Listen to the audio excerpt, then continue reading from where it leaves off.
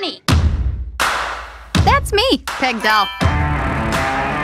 The maroon suit and your shoes may not tell you this, but I'm a hustler. Anyone need any tickets? I wouldn't screw you over. I'm a Bills fan.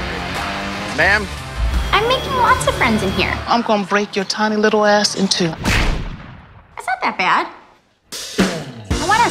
trying not to be poor and start trying to get rich. We collect on everything medical bills, credit cards, student loans. If it's been charged out by the bank, we do whatever it takes to get it back. I, I think that I, I have an offer. Yeah, I want to make you an offer. If I get to the top of that board in one month, you erase my debt $50,000. You got a deal.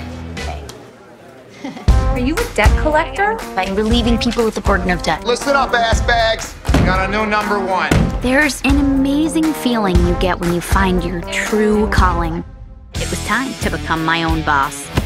We were raking it in. Hallelujah. This is war. Gosh, if it had to be war, I was gonna win it. Are you trying to go back to prison?